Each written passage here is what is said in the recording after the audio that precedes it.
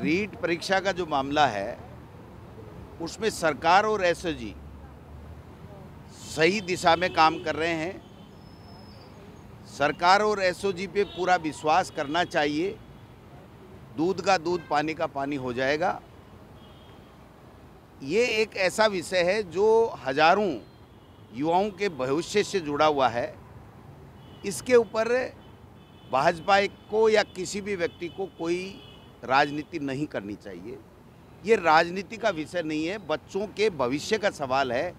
इसलिए जो भी इनपुट किसी भी व्यक्ति को, किसी भी राजनीतिक व्यक्ति को, अगर मिलता है तो वो सरकार तक और एसओजी तक पहुंचाना चाहिए, जिससे आने वाले समय में जिन लोगों ने गलतियाँ की हैं, गड़बड़ियाँ की हैं, चोरी की है उनको सबको सबक मिले, सज़ा मिले और बच्चों का भविष्य अच्छा आगे हो सके, उनको रोज़गार मिल सके, नौकरियाँ मिल सके, इस बात का पूरे तरीके से सरकार संकल्पबद्ध है। किसी को कोई शंका करने की आवश्यकता आज की तारीख में नहीं।